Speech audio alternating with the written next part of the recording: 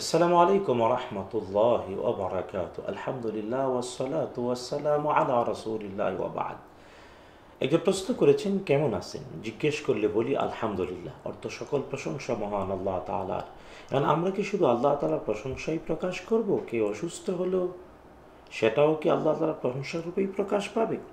হ্যাঁ যখন ভালো থাকব আমরা, যখন সুস্থ থাকব আরাম আয়েস আর আনন্দে থাকব, তখন অবশ্যই তো আলহামদুলিল্লাহ বলার দ্বারাই নিজের অনুভূতি, নিজের অবস্থা প্রকাশ করব, এতে কোনো সন্দেহ নেই। কিন্তু হ্যাঁ যখন কেউ অসুস্থ অথবা দুঃখে অথবা কষ্টে অথবা বিপদে, তখন বলতে হয় আলহামদুলিল্লাহ আলা কুল্লি হাল।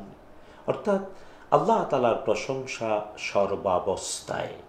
আর এই আলা কুল্লি হাল যুক্ত করার দ্বারা বোঝা যায় যে কষ্টে, দুঃখে, বেদনায় তবুও আল্লাহ তালারই প্রশংসা করছে। সুতরাং পার্থক্য বুঝতে হবে, যখন খুব ভালো আসি আরাম আয়েস আনন্দে আসি তখন অবশ্যই আলহামদুলিল্লাহ রব্বিল আলমিন, আলহামদুলিল্লাহ আলহামদুলিল্লাহ রব্বিল আলমিন বলব। আর যখন অসুস্থ, বিপদ, আপদ, দুঃখ বা কষ্টে, তখন বলব আলহামদুলিল্লাহ আলা কুল্লি হাল। অর্থাৎ সকল অবস্থায় থেকেও আমি প্রশংসা করছি আল্লাহ তাআলার